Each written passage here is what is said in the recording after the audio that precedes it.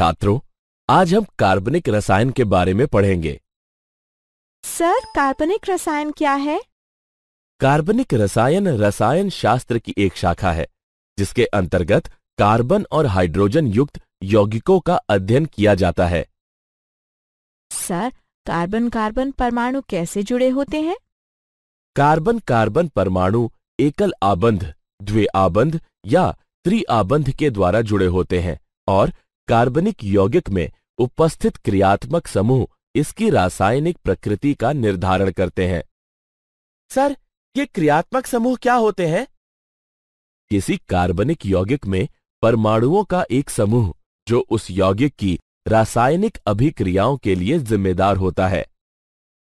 इस अध्याय में आप कार्बनिक रसायन और कुछ आधारभूत सिद्धांतों के बारे में पढ़ेंगे। उद्देश्य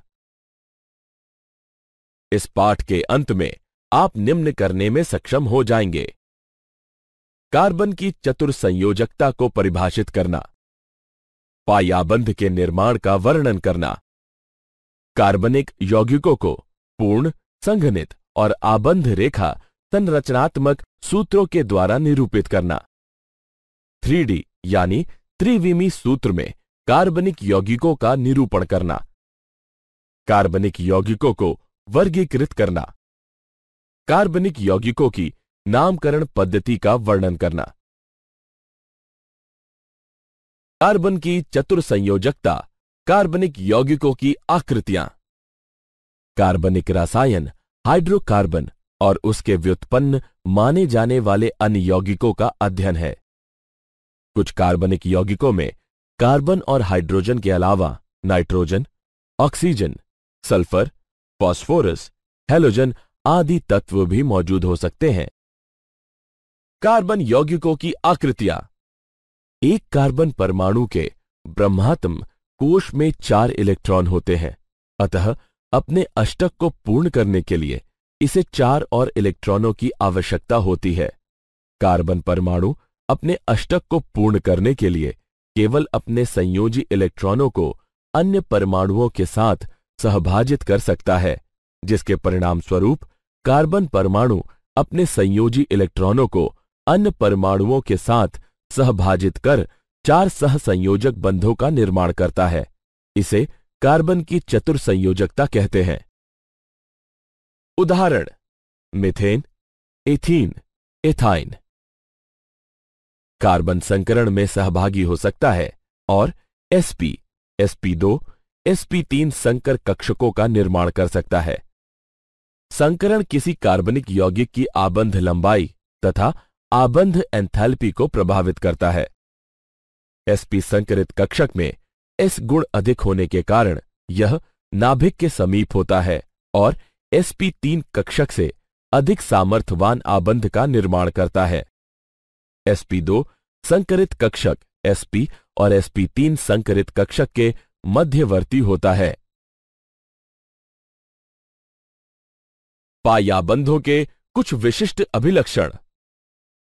पायाबंध दो निकटवर्ती परमाणुओं के पी कक्षकों के पार्श्व अतिव्यापन से निर्मित होता है। पी कक्षक एक दूसरे के समानांतर और अणु के तल के लंबवत होने चाहिए। पायाबंध कार्बन कार्बन द्विआबंध के चारों ओर घूर्णन प्रतिबंधित कर देता है। पायाबंध बहुआबंध युक्त यौगिकों में इलेक्ट्रॉन आवेश अभ्र उपलब्ध कराता है।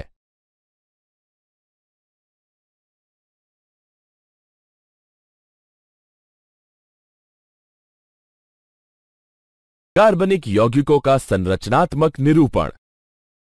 पूर्ण संघनित तथा आबंध रेखा संरचनात्मक सूत्र।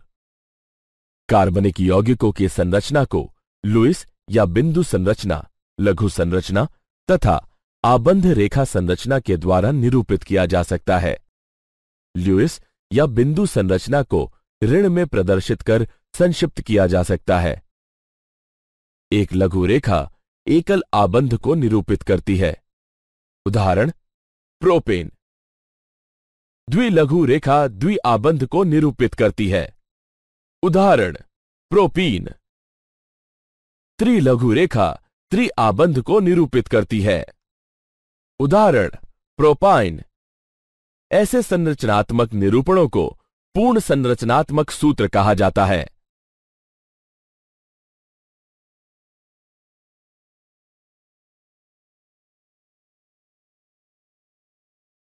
कार्बनिक यौगिकों का संरचनात्मक निरूपण। संगणित संरचनात्मक सूत्र में प्रत्येक कार्बन परमाणु को पृथक पृथक एक के बाद लिखा जाता है। उन कार्बन परमाणुओं से जुड़े समान समूह को कोष्ठक में लिखकर संख्या को पादांक में प्रदर्शित करते हैं। उदाहरण, पूर्ण संरचनात्मक सूत्र। इसके संगणित सूत्र को निम्न प्रकार से लिखा जा सकता है। आबंध रेखा संरचनाएँ। इसमें कार्बन और हाइड्रोजन परमाणु नहीं दर्शाए जाते, केवल कार्बन कार्बन परमाणुओं के बीच के आबंध को टेढ़ी मेढ़ी रेखाओं के द्वारा दर्शाया जाता है। कार्बन और हाइड्रोजन के अतिरिक्त परमाणुओं को संरचना में दर्शाया जाता है और सिरे मिथेल समूह को इंगित करते हैं। उदाहरण, butyl chloride, propene, cyclohexane, diethyl ether dimethyl amine. कार्बनिक यौगिकों का त्रिविमी निरूपण। कागज़ पर कार्बनिक यौगिकों के त्रिविमी संरचनाओं को ठोस और डैश वेज सूत्र के उपयोग के द्वारा निरूपित किया जाता है। ठोस वेज उस आबंध को दर्शाता है जो कागज़ के तल से दर्शक की ओर प्रक्षेपी है। डैशवेज दर्शक से दूर जाने वाले आबंध को दर्शाता है। कागज़ के तल में स्थित आबंध को साधारण रेखा के द्वारा प्रदर्शित किया जा सकता है। उदाहरण, मेथेन।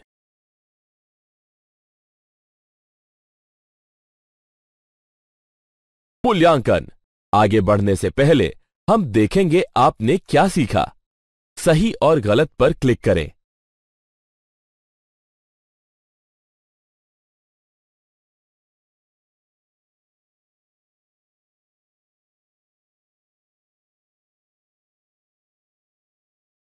कार्बनिक यौगिकों का वर्गीकरण।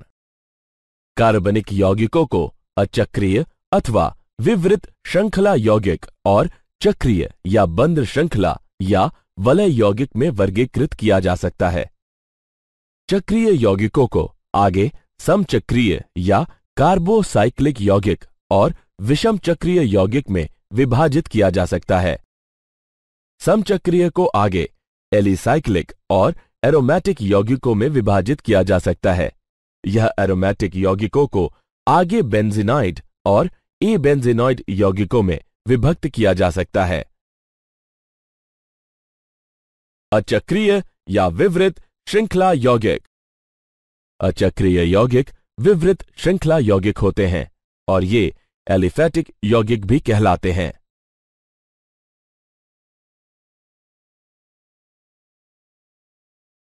एलिसाइक्लिक या बंद श्रृंखला या वलय यौगिक। एलिसाइक्लिक वे कार्बनिक यौगिक होते हैं, जिसमें तीन या अधिक कार्बन परमाणु आपस में जुड़कर वलय का निर्माण करते हैं। एरोमेटिक यौगिक। एरोमेटिक यौगिक वे कार्बनिक यौगिक हैं, जिनमें बेंजीन और अन्य चक्रीय यौगिक सम्मिलित होते हैं।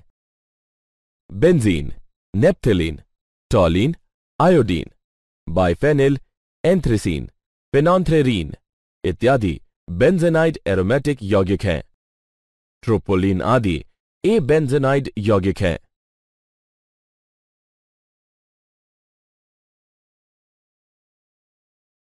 विषमचक्रीय एरोमेटिक यौगिक। विषमचक्रीय यौगिक एक कार्बनिक यौगिक है, जिसमें एक या अधिक कार्बन परमाणु किसी अन्य कार्बन के अतिरिक्त विषम परमाणु से विस्थापित कर दिया जाता है। विषम परमाणु नाइट्रोजन, ऑक्सीजन और सल्फ़र है। क्रियात्मक समूह या प्रकार्यात्मक समूह। यह किसी कार्बनिक यौगिक में विशिष्ट प्रकार से जुड़ा परमाणु या परमाणुओं का समूह, जो उस कार्बनिक यौगिक की रासायनिक अभिक्रियाओं के लिए उत्तरदायी होता है। सजातीय श्रेणियाँ। एक सजातीय श्रेणी को संरचनात्मक रूप से समान यौगिकों की श्रृंखला के रूप में परिभाषित किया जा सकता है, जिसके प्रत्येक क्रमागत सदस्य में एक समूह सी दो इकाई का अंतर होता है। इस श्रेणी का प्रत्येक सदस्य सजात कहलाता है। मूल्यांकन। आगे बढ़ने से पहले आइए देखें आपने कितना सीखा। सही विकल्प चुनकर रिक्त स्थानों की पूर्ति कीजिए।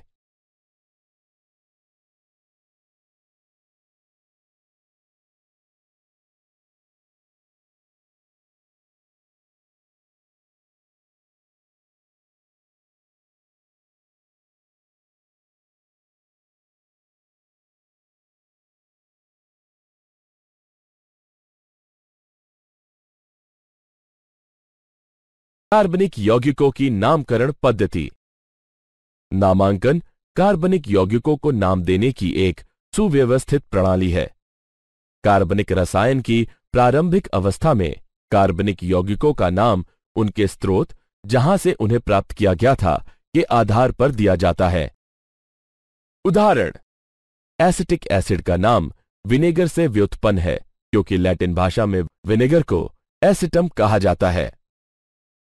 मैथिल एल्कोहल को वुड स्प्रिट का नाम दिया गया था, क्योंकि इसे लकड़ी के आसवन से प्राप्त किया गया था। कार्बनिक यौगिकों के ये नाम रूढ़ नाम या सामान्य नाम कहलाते हैं। नामकरण की आईयूपीएसी पद्धति। International union of pure and applied chemistry को छोटे रूप में आईयूपीएसी लिखा जाता है। इस पद्धति का उपयोग करके हम किसी कार्बनिक यौगिक को एक व्यवस्थित नाम दे सकते हैं। किसी कार्बनिक यौगिक का व्यवस्थित नाम मूल श्रृंखला, क्रियात्मक समूह और शाखा श्रृंखला की पहचान करके व्युत्पन्न किया जा सकता है। मूल नाम में हम उपयुक्त पूर्वलग्न, अनुलग्न को भी संयुक्त करके वास्तविक यौगिक का नाम प्राप्त कर सकते हैं।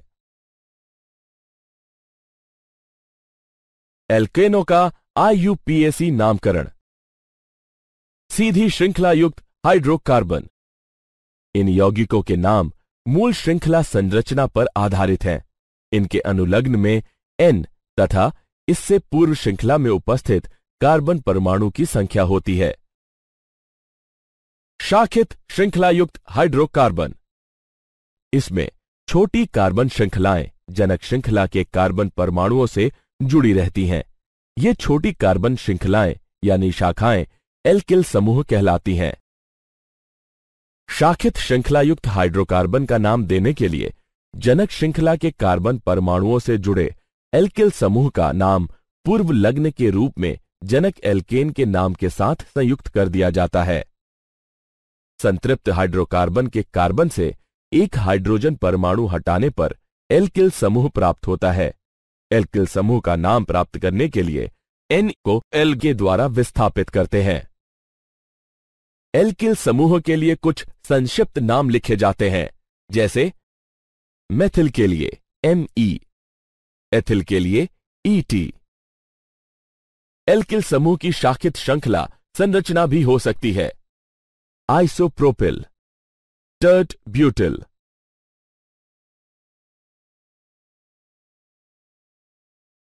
शाखित श्रृंखलायुक्त एल्केनो का नामकरण। नामकरण के नियम निम्नलिखित हैं। सर्वप्रथम, हम यौगिक में दीर्घतम कार्बन श्रृंखला का चयन करते हैं। जनक श्रृंखला के कार्बन परमाणुओं का अंकन किया जाता है, जिससे जनक एल्केन से जुड़े कार्बन परमाणु को पहचानने में मदद मिलती है। क्रमांकन उस छोर से प्रारंभ करते हैं, जिससे शाखित कार्बन परमाणु को लघुतम संभावित अंक मिल सके। अतः दी हुई कार्बन श्रृंखला में क्रमांकन बाई ओर से दाई ओर होना चाहिए। इसके उपरांत मूल एल्केन के नाम में एल्किल समूह के नाम पूर्व लग्न के रूप में संयुक्त करते हैं। अतः दिए गए कार्बनिक यौगिक का नाम तीन एथिल एक मेथिल हेप्टेन होगा। शाखित श्रृंखला एल्केनो का नामकरण। यदि प्रतिस्थापी समूह समान हो तो उनकी संख्याओं के मध्य अल्प विराम लगाया जाता है और पूर्व लग्न का उपयोग किया जाता है। जैसे, दो के लिए डाई, तीन के लिए ट्राई, चार के लिए टेट्रा, पाँच के लिए पेंटा, छह के लिए हेक्सा, सात के लिए हेप्टा, आठ के लिए ऑक्टा, नौ के लिए नॉन और दस के लिए डेको उदाहरण। दो तीन डाइमेथिल हेप्टेन। यदि दो प्रतिस्थापी समूह दोनों छोरों से समान स्थिति पर आते हैं तो निम्नतम संख्या उस कार्बन को दी जाती है, जो अंग्रेज़ी वर्णमाला क्रम में पहले आता है। उदाहरण। दो एथिल, पाँच मेथिल हेक्सेन। कुछ सामान्य आईयूपीएसी नाम निम्नलिखित है। सामान्य नाम आइसोप्रोपिल है। इसका आईयूपीएसी नाम एक मेथिल एथिल और इसकी संरचना है। सामान्य नाम सेक ब्यूटिल इसका आईयूपीएसी नाम एक मेथिल प्रोपिल और इसकी संरचना है। सामान्य नाम आइसोब्यूटिल है। इसका आईयूपीएसी नाम दो मेथिल प्रोपिल है और इसकी संरचना है। सामान्य नाम टर्ट ब्यूटिल है। इसका आईयूपीएसी नाम एक एक डाइमेथिल एथिल है और इसकी संरचना है सामान्य नाम नियोपेंटिल इसका आईयूपीएसी नाम दो दो डाइमेथिल प्रोपिल है और इसकी संरचना है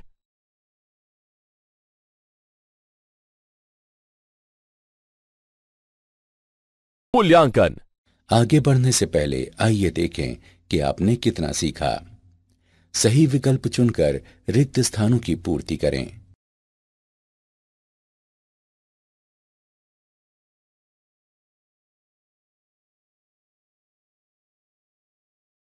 शाखित श्रृंखला वाले एल्केनों का नामकरण। बहुप्रतिस्थापी समूह वाले यौगिकों के नामकरण में निम्नलिखित नियमों को ध्यान में रखना आवश्यक है। यदि कार्बन की समान संख्या वाली दो श्रृंखलाएँ हैं तो ज़्यादा शाखा श्रृंखला वाली श्रृंखला को चुना जाता है। श्रृंखला का अंकन उस छोर से प्रारंभ किया जाता है, जिस ओर से प्रतिस्थापी को निम्नतम अंक प्राप्त हो।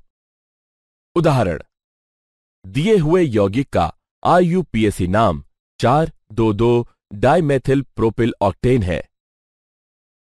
चक्रीय यौगिक, एकल आबंध वाले समचक्रीय यौगिकों का नाम संबंधित विवृत श्रृंखला एल्केन के नाम में साइक्लोपूर्वलग्न लगाकर प्राप्त करते हैं।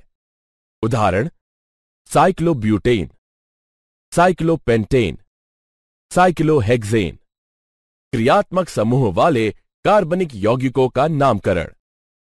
क्रियात्मक समूह किसी कार्बनिक यौगिक की रासायनिक अभिक्रियाशीलता की प्रवृत्ति को परिभाषित करता है।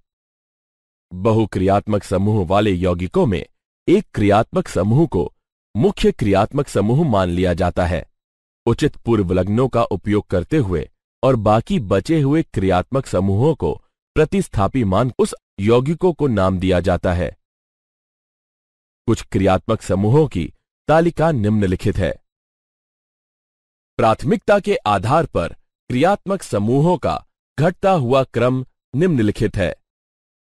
कार्बोक्सिलिक अम्ल, acid anhydride ester acid chloride amide nitrile aldehyde ketone alcohol amine alkane alkene alkyne halo nitro alkoxy alkyl उदाहरण, हम निम्नलिखित कार्बनिक यौगिकों के आईयूपीएसी नाम लिखेंगे। यहाँ मूल शब्द ब्यूट है और अनुलग्न एन है। यहाँ दो क्रियात्मक समूह है, कीटोन और एल्कोहल एल्कोहल समूह की अपेक्षा कीटोन समूह को उच्च प्राथमिकता प्राप्त है। अतः द्वितीयक अनुलग्न ओन होगा। पूर्वलग्न मेथिल और हाइड्रोक्सिल होंगे। अतः नाम होगा तीन हाइड्रोक्सी तीन मेथिल ब्यूटेन दो ओन। प्रतिस्थापी बेंजीन व्युत्पन्नों की नामकरण पद्धति। बेंजीन व्युत्पन्नों का नाम प्राप्त करने के लिए प्रतिस्थापी समूह का नाम पूर्व लग्न के रूप में बेंजीन शब्द से पूर्व लिखते हैं। उदाहरण, bromobenzene tert butyl benzene nitrobenzene.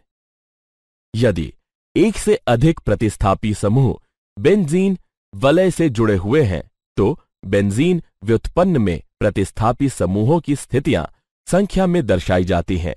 वलय के कार्बन परमाणुओं का क्रमांकन इस तरह से किया जाता है कि प्रतिस्थापी समूह वाली स्थितियों को न्यूनतम संख्या मिल सके।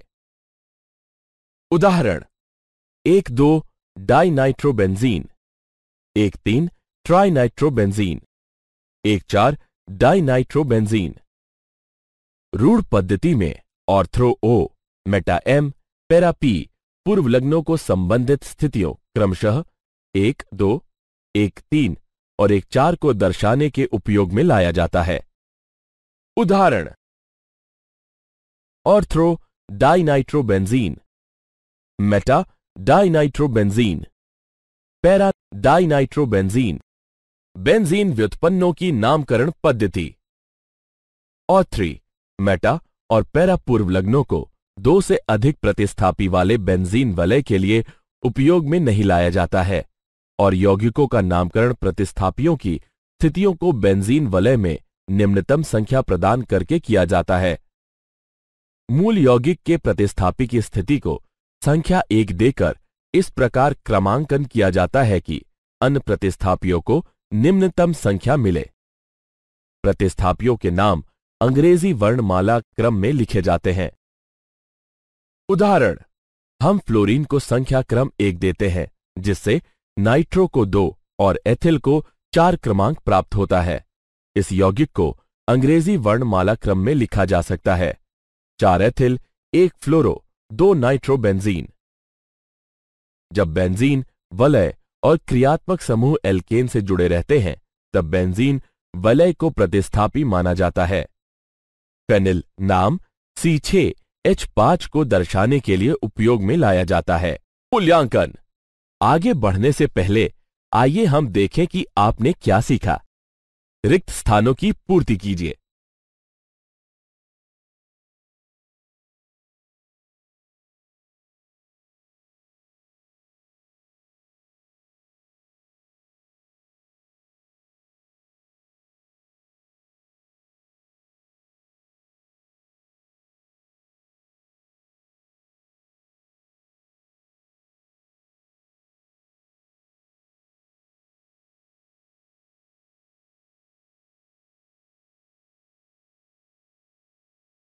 आप जानते हैं। मैसेंजर अंतरिक्ष यान ने बुध ग्रह पर न सिर्फ़ जल और बर्फ़ के अस्तित्व का खुलासा किया और साक्ष्य प्रस्तुत किए, बल्कि कई जगहों पर यह बर्फ़ 10 सेंटीमीटर मोटी कालिख जैसे कार्बनिक पदार्थ की परत से ढकी हुई प्रतीत होती है।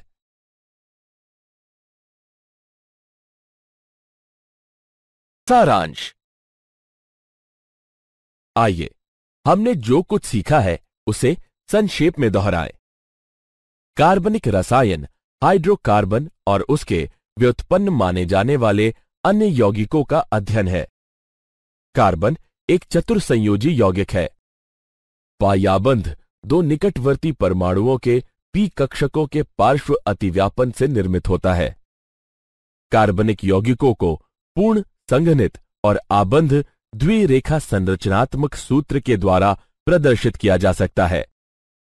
त्रिविमी यानी थ्री निरूपण में ठोस वेज उस आबंध को दर्शाता है जो कागज़ के तल से दर्शक की ओर प्रक्षेपी है और डैश वेज दर्शक के दूर आबंध को दर्शाता है।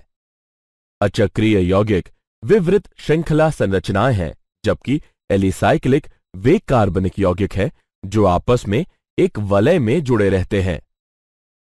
क्रियात्मक समूह किसी यौगिक में उपस्थित परमाणुओं का ऐसा विशिष्ट समूह है, जो उस यौगिक की रासायनिक अभिक्रिया के लिए जिम्मेदार होता है। कार्बनिक यौगिकों का नाम नामकरण पद्धति के अनुसार दिया जाता है। रूढ़ पद्धति में ortho O, meta M, para P, पूर्व लग्नों को बेंजीन वलय की संबंधित स्थितियों क्रमशः एक दो, एक तीन और एक चार को दर्शाने के लिए उपयोग में लाया जाता है।